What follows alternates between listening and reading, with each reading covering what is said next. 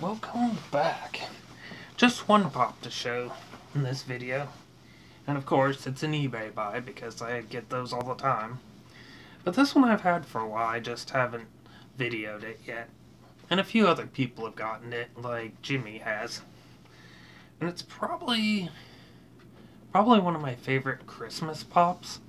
And it's it was one of my favorite uh you know Funko original type ones. There there was a couple more, but this one had to be my like number one one.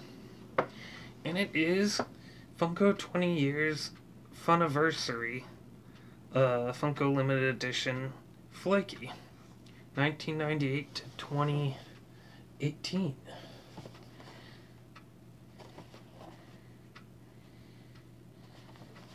It's got pretty cool the Christmas imagery on it. It's pretty cool.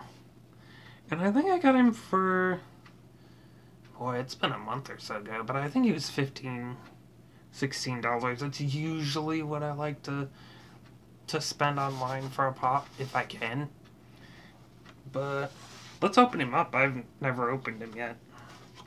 It's quite a few of mine. I I didn't open them until I did the video.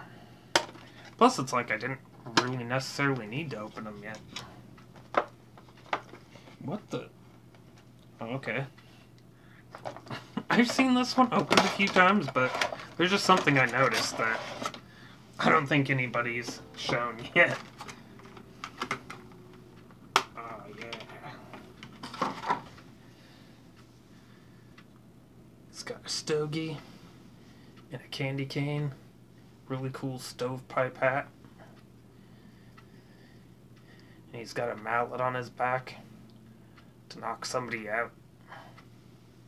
But yeah, his he's one solid piece except for, you know, his arms. Yeah, just his arms. He's got a few paint paint issues and stuff on him, but that doesn't really matter. I just like how he looks.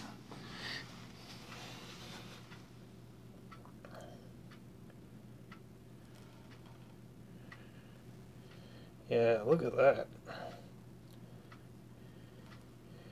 He's got quite the creepy face. So I think I'll put him right about there. Seems like a pretty good distance. Where there's not too much light, there's just enough.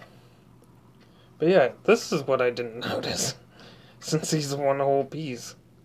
He's got a butthole. That's all the yeah, it's too shiny to see, but all the information and stuff. Yeah, I'd seen him taken out before, and I never realized he was one whole piece except for his arms. Which... The part's a little loose, but it just feels like the hammer. That's weird. But yeah, I think he was previously used by somebody. I don't think he was new new, but... I just thought he was really awesome. Uh, Christmas Pop and Funko original character.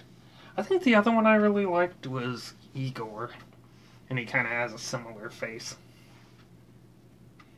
But yeah, he's definitely going out, definitely going out for Christmas with all my Halloween stuff.